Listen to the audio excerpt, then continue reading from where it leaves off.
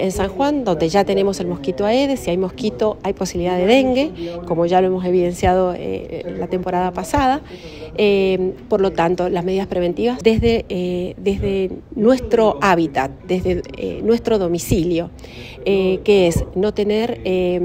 criaderos de mosquitos y ellos están en recipientes con agua que están durante varios tiempos, porque el mosquito ya ha colocado los huevos la temporada pasada, ya ha dejado los huevos colocados en los recipientes, ahora con una buena temperatura y humedad van a eclosionar y vamos a tener los mosquitos adultos.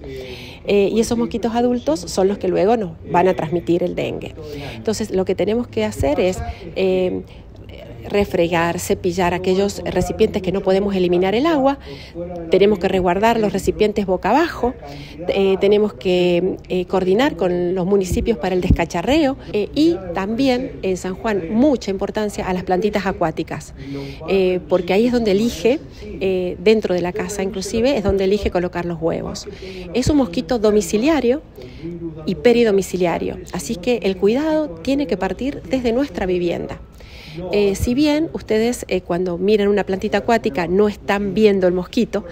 pero y los huevos tampoco son observables, sí podemos ver por ahí algunos como gusanitos que son, eh, que son larvas del mosquito que se encuentran dentro de estos recipientes.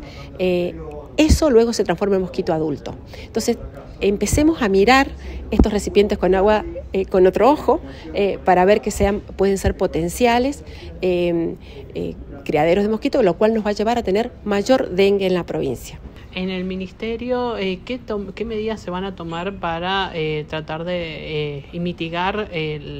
otra vez que vuelvan los mosquitos con dengue? Bueno, hay muchas acciones que ya se venían realizando desde años anteriores, pero bueno, entre ellas es, vamos a hacer capacitaciones, todas las que nos pidan y todas las que sean sugeridas, por supuesto, a toda, hacia toda la comunidad, hacia todos los actores de la comunidad, pero ya con educación, por supuesto, eh, articular acciones con el personal que, que, mantiene los edificios escolares, con técnicos de higiene y seguridad que mantienen los edificios públicos también. Eh, eso sería una de las acciones, colocar los sensores de ovipostura para ver en qué momento nos está apareciendo eh, mayor cantidad de, mayor población de, AEDES. Em, bueno, después eh, todo lo que tenga que ver con sensibilización, como esta, esto que estamos haciendo hoy, que es difundir las, medidas preventivas. Em, bueno, también vamos a participar de, de, un proyecto que hay en capturar mosquitos para ver la resistencia al insecticida, porque los mosquitos uno de los efectos que hacen es, eh, eh, una de sus propiedades es mutar.